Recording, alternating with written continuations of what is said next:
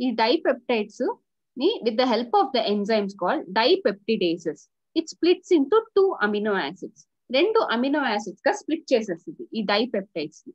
తర్వాత for example maltose ఉందనుకో maltase ఎంజైమ్తో గ్లూకోజ్ ప్లస్ గ్లూకోజ్గా డివైడ్ చేస్తుంది స్ప్లిట్ చేస్తుంది. ఎందుకంటే గ్లూకోజ్ ప్లస్ గ్లూకోజ్ కలిస్తేనే ఈ డైసాక్రైడ్ అయింది. తర్వాత లాక్టోస్ లాక్టోస్ కూడా డైసాక్రైడే with the help of the enzyme called lactase lactase వాడి గ్లూకోజ్ ప్లస్ గ్యాలక్టోస్గా స్ప్లిట్ అయింది. తర్వాత సుక్రోజ్ ఈ సుక్రోజ్ అయితే with the help of the enzyme sucrase glucose plus fructose so ఈ ఎంజైమ్స్ అన్ని కూడా సర్కస్ ఎంటిరికస్లో ఉండే ఎంజైమ్స్ తర్వాత న్యూక్లియోటైడ్స్ వచ్చి న్యూక్లియోటైడేజెస్తో కలిసి తో ఇదయి న్యూక్లియోసైట్స్గా ఫామ్ అవుతాయి. న్యూక్లియోసైడ్స్ వచ్చి న్యూక్లియోసైడేసెస్గా ఫామ్ అయ్యి ఇంకా షుగర్స్ ప్లస్ బేసెస్గా స్ప్లిట్ అవుతుంది ఫైనల్గా ఇంకా డై అండ్ మోనోగ్లిసరైడ్స్ లైపేజెస్ ద్వారా యాక్ట్ అయ్యి fatty acids plus glycerol so ఇలా ఫైనల్ స్ప్లిట్టింగ్ జరుగుతుంది ఇవన్నీ. సో ఈ ఎంజైమ్స్ అన్ని కూడా సర్కస్ ఎంటరికస్లో ఉంటుంది. So the break down of bio macromolecules mention above ఫైనల్గా ఏమవుతుందంటే మనకి తిన్న కార్బోహైడ్రేట్స్ అన్ని గ్లూకోజ్ గాను గ్యాలక్టోస్ గాను ఫ్రక్టోస్ గాను స్ప్లిట్ అవుతుంది. తిన్న ప్రోటీన్స్ అన్ని అమినో యాసిడ్స్గా స్ప్లిట్ అవుతాయి. మనం తిన్న న్యూక్లియోటైడ్స్ అవన్నీ కూడా ఫైనల్గా షుగర్ అండ్ బేసెస్గా లిపిడ్స్ అన్ని కూడా ఫ్యాటీ యాసిడ్స్ అండ్ గ్లిసరాల్గా స్ప్లిట్ అయి ఉంటుంది.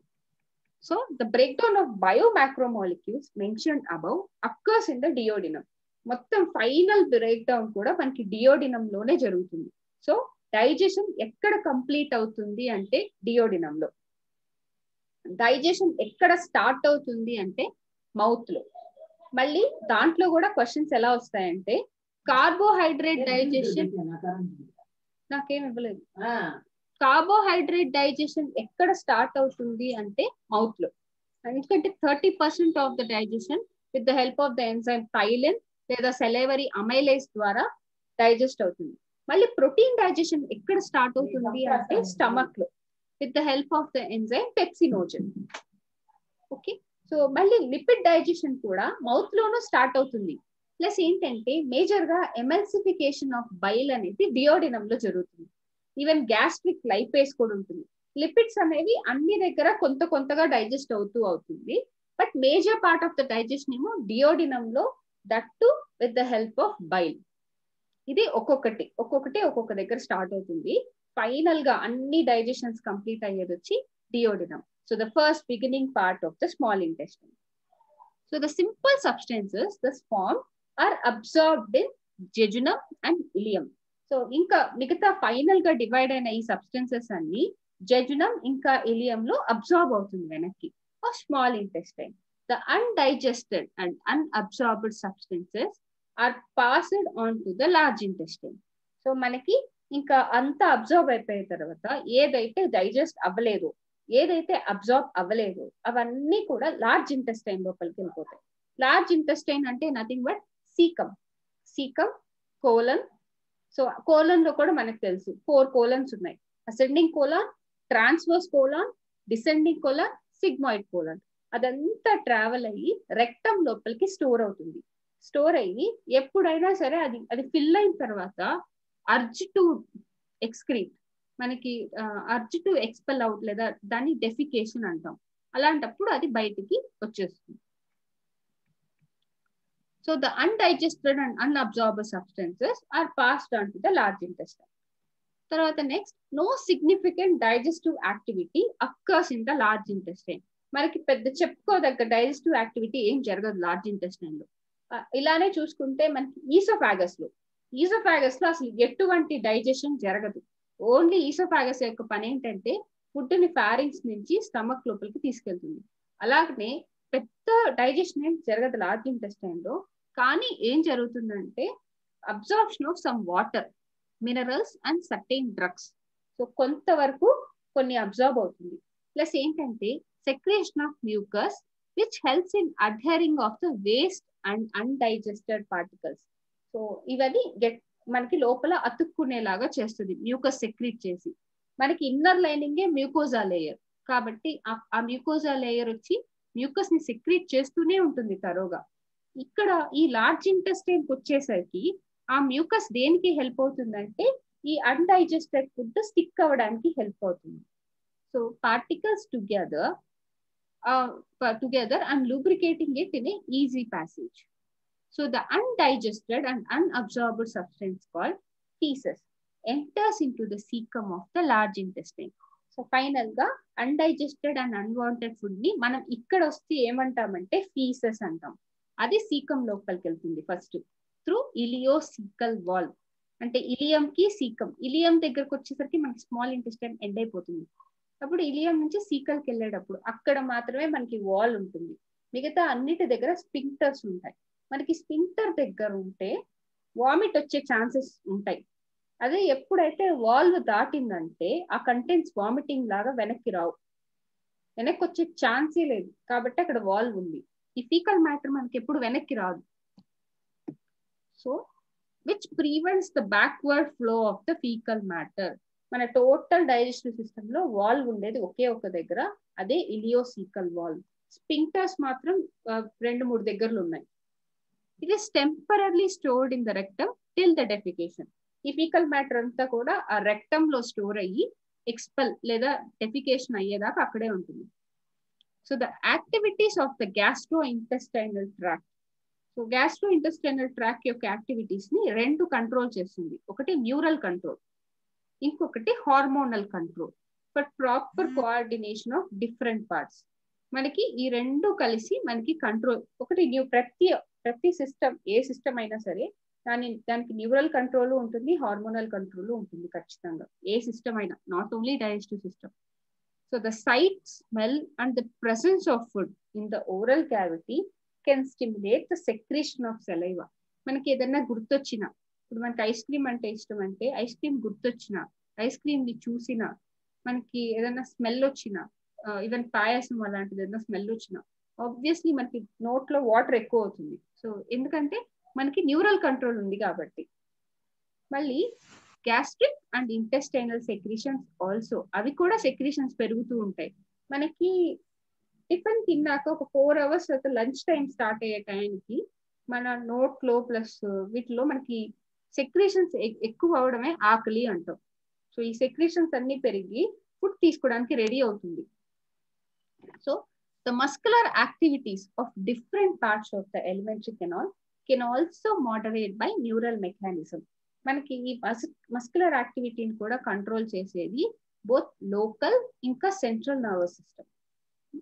ఇంకొకటి గుర్తుపెట్టుకోవాల్సింది ఏంటంటే ఇక్కడ మనకి డైజెస్టివ్ సిస్టమ్కి సప్లై అయ్యే నర్వ్ వచ్చి vagus nerve so vagus nerve అంటే వేగస్ నర్వ్ వచ్చి ఈ డైజెస్టివ్ సిస్టమ్కి అసలు నాకు చూపి లేదు నా దగ్గర తీసుకోవాలి ఓకే నాకు తెలియదు నేను క్లాస్ చెప్పిన మళ్ళీ. ఓకే సో వేగస్ నర్వ్ వచ్చి మనకి టెన్త్ క్రేనియల్ నర్వ్ క్రేనియల్ నర్వ్స్లో టెన్త్ క్రేనియల్ నర్వ్ మనకి డైజెస్టివ్ సిస్టమ్కి సప్లై అవుతుంది.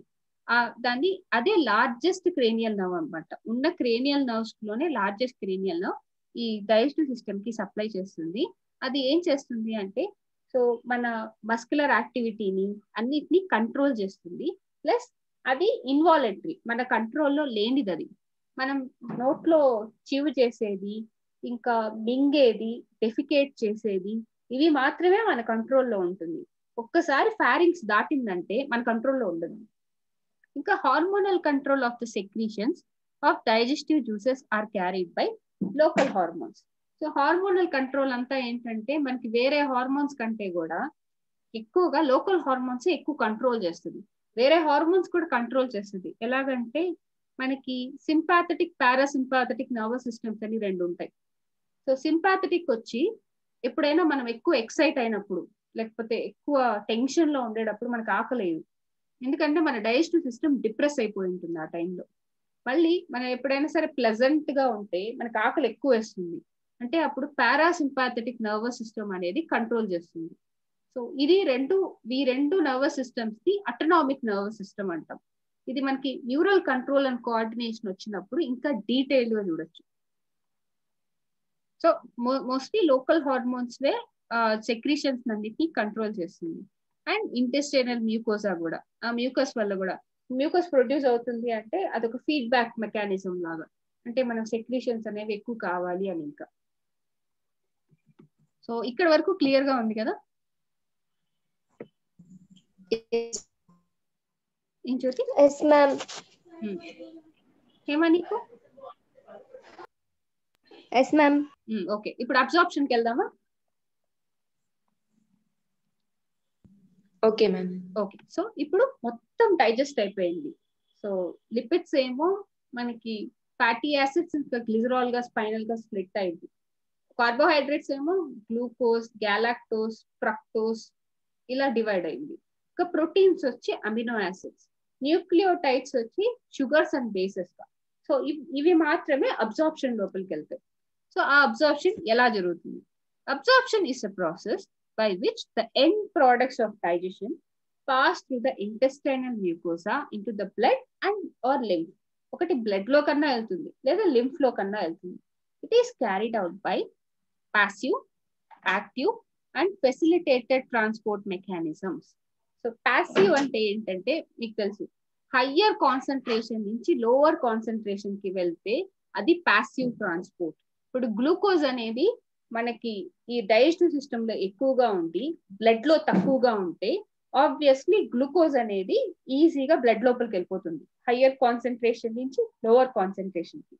మళ్ళీ ప్యాసివ్ అంటే lower concentration to higher concentration opposite ఇంకా ఫెసిలిటేటెడ్ ట్రాన్స్పోర్ట్ సిస్టమ్ అంటే ఇది కూడా లోవర్ కాన్సన్ట్రేషన్ నుంచి హయ్యర్ కాన్సన్ట్రేషన్కి త్రూ ఫెసిలిటేట్ చేస్తుంది అనమాట ఆ గేట్స్ ఓపెన్ చేసి ఫెసిలిటేట్ చేస్తుంది. ఇలా ట్రాన్స్పోర్ట్ మెకానిజమ్స్ ద్వారా ఫుడ్ అనేది అబ్జర్వ్ అవుతుంది. So small amounts of monosaccharides like glucose amino acids and some electrolytes like crore chloride ions are generally absorbed by simple diffusion so ఇవి గుర్తుపెట్టుకోవాలి మనం. ఏవేవి సింపుల్ డిఫ్యూషన్ వల్ల వెళ్తుందో అనేది? Glucose amino acids and some electrolytes like chloride ions simple diffusion అంటే in turn again higher concentration నుంచి lower కాన్సన్ట్రేషన్కి. So passive ట్రాన్స్పోర్ట్లో one of the transport simple diffusion అదే హయ్యర్ కాన్సన్ట్రేషన్ నుంచి లోవర్ కాన్సన్ట్రేషన్కి వాటర్ వెళ్తే దాన్ని ఆస్మోసిస్ అంటాం. మామూలు వేరే కంటెంట్స్ వెళ్తే దాన్ని డిఫ్యూజన్ అంటాం. సో ఇవన్నీ కూడా సింపుల్ డిఫ్యూజన్ ద్వారా అబ్జర్వ్ అయిపోతుంది బ్లడ్లోకి కానీ లింఫ్లోకి కానీ. So the passage of these substances into the blood always depends on the concentration gradients so ఎలా వెళ్తాయి అంటే ఆ కాన్సన్ట్రేషన్ చేంజ్ వల్లే వెళ్తాయి. సో ఎప్పుడు హైయర్ కాన్సన్ట్రేషన్ నుంచి లోవర్ కాన్సన్ట్రేషన్కి ఈజీగా వెళ్ళిపోతాయి. కానీ కొన్ని సబ్స్టెన్సెస్ ఉన్నాయి. అవి ఏంటంటే కొన్ని కొన్ని సబ్స్టెన్సెస్ గ్లూకోజ్ ఇంకా అమినో యాసిడ్స్ వచ్చి క్యారియర్ ప్రోటీన్స్ ద్వారా లోపలికి వెళ్తాయి. సో ఇలా క్యారియర్ ప్రోటీన్స్ ద్వారా లోపలికి వెళ్తే దాన్ని ఫెసిలిటేటెడ్ ట్రాన్స్పోర్ట్ అంటాం. So this mechanism is called facilitated transport ఎందుకు అంటే అవి అంత ఈజీగా వెళ్ళవు కాబట్టి కొన్ని కొన్ని రకాలైన గ్లూకోజ్ కొన్ని రకాలైన అమినో యాసిడ్స్ వాటిని క్యారియర్ ప్రోటీన్కి అతికిచ్చి అప్పుడు లోపలికి తీసుకెళ్ళాలి. అంటే మనం ఫెసిలిటేట్ చేస్తున్నాం వెళ్ళకపోవడాన్ని. సో దాన్ని ఫెసిలిటేటెడ్ తర్వాత transport of water. Transport of water కూడా ఆస్మోటిక్ గ్రేడియంట్ మీద డిపెండ్ అయి ఉంటుంది. Nothing but very simple. బాడీలో వాటర్ తక్కువ అయితే ఆ వాటర్ని డైజెషన్ నుంచి మనకి దాహం వేస్తుంది. అంటే బాడీలో కాన్సన్ట్రేషన్ తక్కువైంది. మనం మనకి దాహం వేస్తుంది. అప్పుడు మనం వాటర్ తీసుకుంటాం.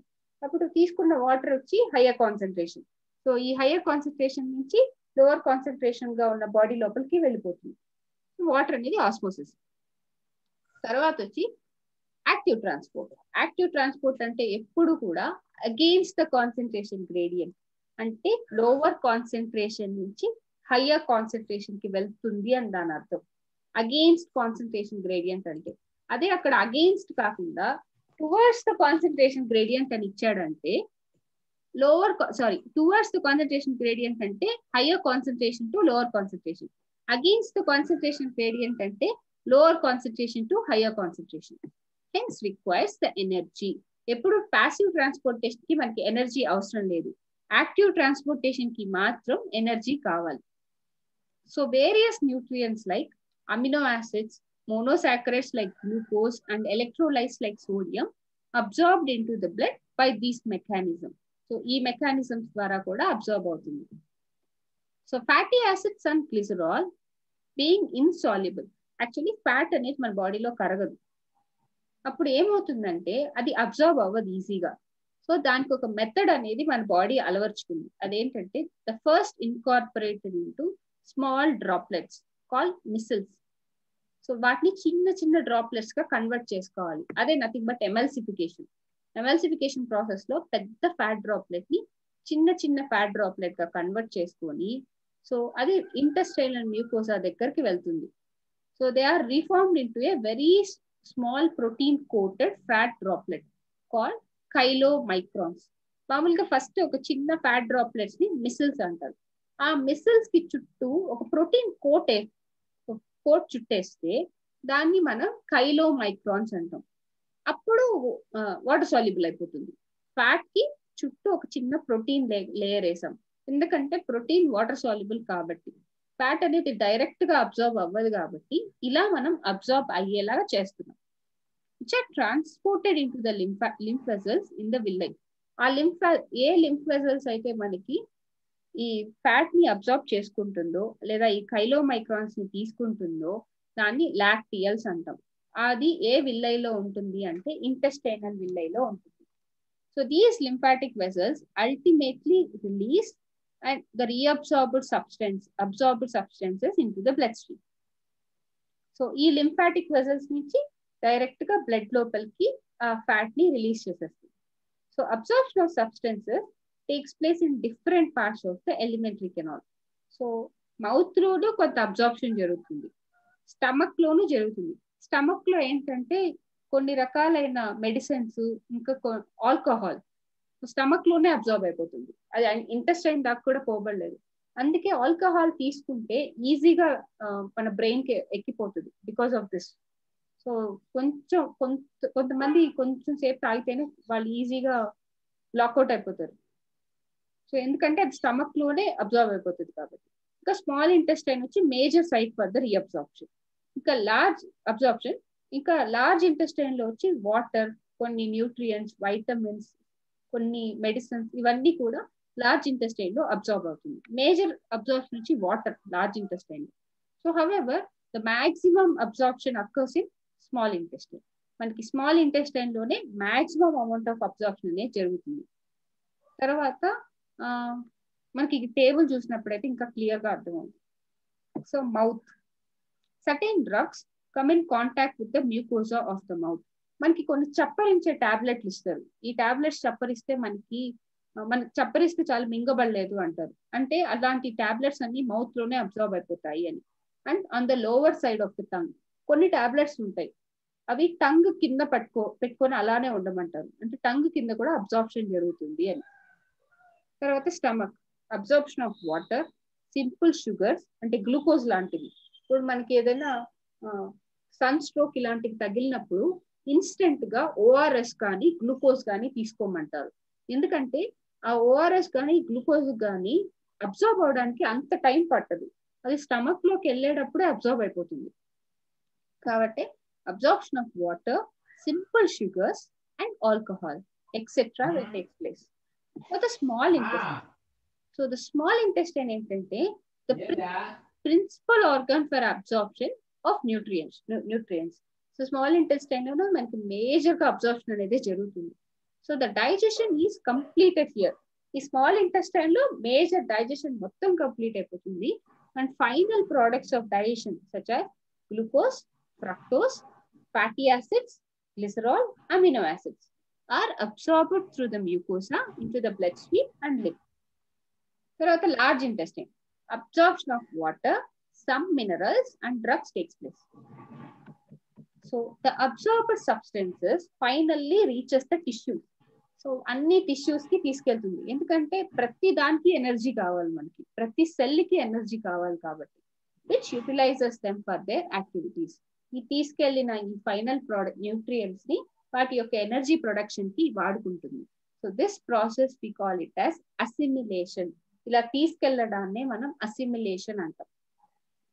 So the digestive waste solidified and coherent coherent pieces in the rectum so మన తర్వాత ఈ డైజెస్టివ్ ఫుడ్ అంతా అబ్జర్వ్ అయ్యాక ఈ వేస్ట్ అంతా ఉంటుంది కదా అవన్నీ రెక్టమ్ లోపలికి వెళ్ళి స్టోర్ అవుతూ ఉంటుంది. సో స్టోర్ అయిన తర్వాత అది న్యూరల్ రెఫ్లెక్స్ని ఇనిషియేట్ చేస్తుంది. ఇనిషియేట్ చేసి urge or desire for its రిమూవల్ని start చేస్తుంది.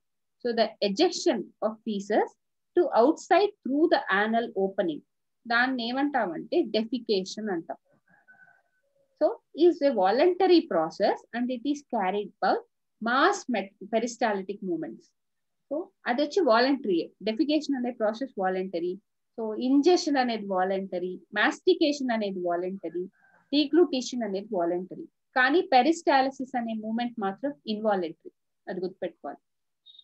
So large huge peristaltic movement ద్వారా ఫీకల్ మ్యాటర్ అనేది బయటికి ఎజెషన్ అయిపోతుంది. సో ఇక్కడ వరకు మనకి డైజెషన్ అనేది కంప్లీట్ అయింది. ఇంకా రిమైనింగ్ వచ్చి ఈ చిన్న పార్ట్ ఉంది. Disorders of digestive system. మనకి ఇప్పటిదాకా చదువుకుంది వచ్చి అనాటమీ అండ్ ఫిజియాలజీ ప్యూర్ ఇప్పుడు చూసేది వచ్చి పెథాలజికల్ పార్ట్ అంటే ఏదైనా డిసీజెస్ కామన్గా వచ్చే డిసీజెస్ ఏంటి అని. వెరీ కామన్గా వచ్చే డిసీజెస్ వచ్చి inflammation inflammation of intestinal tract is most common element due to bacterial లేదా వైరల్ ఇన్ఫెక్షన్ సో ఇంటెస్టైన్ కానీ ఇంకా స్టమక్ కానీ ఇన్ఫ్లమేషన్ అయితే ఇప్పుడు స్టమక్ కానీ ఇన్ఫ్లమేషన్ అయితే దాన్ని గ్యాస్ట్రైటిస్ అంటారు. ఇంటెస్టైన్ కానీ వాస్తే దాన్ని ఎంటిరైటిస్ అంటాం అదే లార్జ్ ఇంటెస్టైన్ కానీ ఇన్ఫ్లమేషన్ జరిగితే దాన్ని కోలైటిస్ అంటారు. యాక్చువల్లీ ఐటిస్ అని వచ్చిందంటే అది ఇన్ఫ్లమేషన్ అని అర్థం. So the infections are also caused by parasites of the intestine like tapeworm roundworm threadworm hookworm pinworm ఇలా ఈ వామ్ ఇన్ఫెక్షన్స్ ఎక్కువ వస్తుంది. దీనివల్ల వచ్చి ఎక్కువ ఇన్ఫ్లమేషన్ జరుగుతుంది అనమాట జరిగినప్పుడు వాళ్ళకి సివియర్ స్టమక్ పెయిన్ అన్డైజెస్ట్ అవ్వకపోవడం డయేరియా తర్వాత డిసెంట్రీ తర్వాత మాల్ న్యూట్రిషన్ ఇవన్నీ జరుగుతుంటాయి. సో వీటిల్లో కొన్ని ఇక్కడ ఇచ్చారు అవి ఏంటంటే ఫస్ట్ వచ్చి జాండిస్. సో జాండిస్ అంటే మనకు అంతా తెలుసు. మన బాడీలో ఎల్లో ఇష్ డిస్కలరేషన్ అయిపోతుంది. ఇది దేనికి అంటే ఎప్పుడైనా సరే లివర్ అఫెక్ట్ అయింది అనుకోండి లివర్ అఫెక్ట్ అయినప్పుడు skin and eyes turn yellow in colour due to deposition of bile pigments. Liver affect అయినప్పుడు ఆ బైల్ని అది బయటికి పంపిలేక ఆ బైల్ని మిగతా ఆర్గాన్స్ అన్నిటికీ వెళ్ళిపోతుంది ఎక్సెసివ్ అమౌంట్ ఆఫ్ బైల్ ఆ బైల్ పిగ్మెంట్స్ ద్వారానే మనకి బాడీలో నెయిల్స్ ఐ ఇంకా యూరిన్ ఇవన్నీ కూడా ఎక్కువ ఎక్కువ ఎల్లోయిష్తో కనిపిస్తుంది. దాన్ని జాండీస్ అంటాం. జాండీస్ అంటే nothing but liver liver infection తర్వాత వామిటింగ్ సో వామిటింగ్ అంటే ఏంటంటే మనం తిన్న కంటెంట్స్ అన్ని కూడా మళ్ళీ వెనక్కి వచ్చేసేదాన్ని వామిటింగ్ అంటాం. So it is ejection of stomach contents స్టమక్లో ఉన్న కంటెంట్స్ అన్ని మౌత్ ద్వారా బయటకు వచ్చేయడం సో ఇది వచ్చి ఒక రిఫ్లెక్స్ అనమాట it is controlled by vomit centre in the medulla మనకి మెడుల్లా అబ్లాంగేటా అనే పార్ట్లో బ్రెయిన్లో ఉండే పార్ట్లోనే వామిటింగ్ సెంటర్ అని ఉంటుంది. ఆ వామిటింగ్ సెంటరే వామిటింగ్ని కంట్రోల్ చేస్తుంది. మళ్ళీ ఫీలింగ్ ఆఫ్ వామిటింగ్ వామిటింగ్ వచ్చేలాగా ఉంటుంది కానీ వామిటింగ్ రాదు. దాన్ని నాసియా అంటాం. సో నాసియా వేరు వామిటింగ్ వేరు. నాసియా అంటే ఫీలింగ్ వామిటింగ్ అంటే బయటకు వచ్చేది. తర్వాత diarrhoea the abnormal frequency of bowel movements and increased liquidity of faecal discharge is known as diarrhoea మనకి లోపల ఫీకల్ మ్యాటర్ వాటరీగా ఇలా వచ్చిందంటే దాన్ని డయేరియా అంటాం. It reduces the absorption of food so దీనివల్ల మనం ఏం అర్థం చేసుకోవాలంటే ఫుడ్ సరిగ్గా అబ్జర్వ్ అవ్వలేదు సరిగ్గా డైజెస్ట్ అవ్వలేదు అని అర్థం చేసుకోవాలి. తర్వాత కాన్స్టిపేషన్ కాన్స్టిపేషన్ అంటే మలబద్ధకం ఆపోజిట్ టు ద డయేరియా కాన్స్టిపేషన్లోకి వచ్చేసరికి ఫీసెస్ అనేది చాలా హార్డ్గా ఉంటుంది. ఆ retained with in the rectum రెక్టంలోనే faeces చాలా రోజులుగా ఉండిపోయి మనకి దాంట్లో ఉన్న వాటర్ అంతా అబ్జర్వ్ అయిపోయి చాలా హార్డ్గా ఉంటాయి. ఆ హార్డ్గా ఉన్నప్పుడు బయటికి డెఫికేట్ చేయడం చాలా కష్టం అవుతుంది. సో ఇది దేని వల్ల వస్తుంది అంటే ఇర్రెగ్యులర్ బవల్ మూమెంట్స్ వల్ల వస్తుంది. మనకి పెరిస్టాలిటిక్ మూమెంట్స్ బాగా జరిగితేనే లోపల ఉన్న ఫీకల్ మ్యాటర్ అనేది ఈజీగా బయటకు ఎక్స్పెల్ అవుతుంది. అలా పెరిస్టాలిటిక్ మూమెంట్స్ సరిగ్గా జరగకపోతే ఆ ఫీకల్ మ్యాటర్ అంతా స్టోర్ అయ్యి అవి చాలా రోజులు ఉండిపోవడం వల్ల వాటిని కాన్స్టిపేషన్ అంటుంది సో నెక్స్ట్ వచ్చి ఇండైజెషన్ ఇండైజెషన్ అంటే ఏంటి అంటే సో ఫుడ్ అనేది ప్రాపర్గా డైజెస్ట్ అవ్వకపోతే మనకి కొంచెం తిన్నా కూడా ఫుల్ అయిపోయిన ఫీలింగ్ వస్తుంది. దాన్నే మనం ఇండైజెషన్ అంటాం. సో యాక్చువల్లీ యాక్చువల్లీ ఇండైజెషన్ అంటే మేజర్గా ఈ ఎంజైమ్స్ సరిపోకపోవడం సరిగ్గా రిలీజ్ అవ్వకపోవడం స్ట్రెస్ యాంగ్జైటీ ఫుడ్ పాయిజనింగ్ ఎక్కువ తినేయడం స్పైసీ ఫుడ్ తినడం ఇవన్నీ కూడా ఇండైజెషన్కి ఒక రీజన్ అన్నమాట. సో ఇక్కడ దాకా మనకి ఈ చాప్టర్ అయిపోయింది. ఎన్సిఆర్టి బుక్ బేస్ చేసుకొని ఈ చాప్టర్ అయిపోయింది. ఇక్కడ వరకు మీకు ఏమైనా డౌట్స్ ఉంటే చెప్పండి.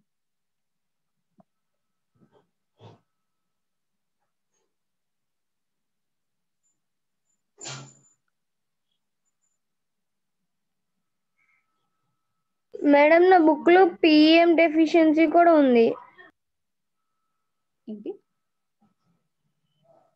PM protein energy malnutrition. కూడా ఉంది నా బుక్లో ఓకే అది కూడా ఉందా?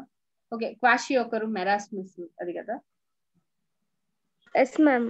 ఓకే. సో అవి క్వశ్చన్స్ వచ్చినప్పుడు చెప్తాను నేను. ఇంకా అంటే మీరు ఇది బేసిక్ చదివితే మీకు త్రీ డే ఈ నెక్స్ట్ త్రీ డేస్ మొత్తం డైజెస్టివ్ అండ్ అబ్జార్ప్షన్ మీదే క్వశ్చన్స్ చెప్తాను. Okay ma'am. ఆ క్వశ్చన్స్ ఆన్సర్ చేసేటప్పుడు అన్ని మిగతా రిమిన కొంచెం నీట్ బేసిస్లో కొన్ని మిగిలిపోయినవి ఉంటాయి కదా. Hello okay ma'am. ఇప్పుడు ప్రజెంట్ మనం ఎన్సీఆర్టీ కవర్ చేసాము. నీట్ బేసిస్లో బ్యాలెన్స్ మిగిలిపోయినవి అన్ని కూడా క్వశ్చన్స్లో కవర్ చేసేద్దాము.